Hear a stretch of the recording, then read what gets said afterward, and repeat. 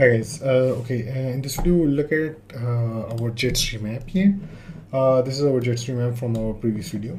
So uh, in this video we'll look at how uh, like now we have login route, we have forget your password route and then we have register route and yeah so in this video we'll look at uh, how we can actually disable this register route uh, for our application. Because sometimes you make an application that only has an admin panel. Uh, for example you have a blog uh, which you want to create. You don't want to, the user to register for your application.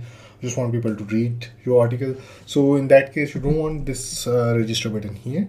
And uh, so for that actually you can go to config fortify.php we know like uh, for the jetstream the backend is fortify which actually uh, divide all this processes as a feature. So registration is a feature reset password is a feature email verification is a feature all these are feature. So you can disable this feature. Let's go ahead and register disable the registration feature and see how it will affect this. So let's go ahead and refresh it. Now you can see like the registration feature is gone. And uh, even if you try to actually go to the register route you will get a 404 not found error.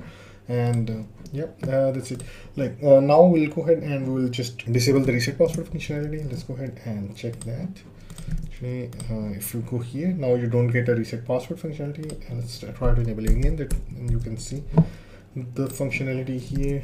Okay now you get the forgot your password functionality. So yeah uh, this is where you can actually control all your features and uh, if you go ahead and check this resources views welcome.blade.php and you can see here uh, for the register route so it is checking like once you actually enable this feature so uh, this actually add this route uh, register in the route registry.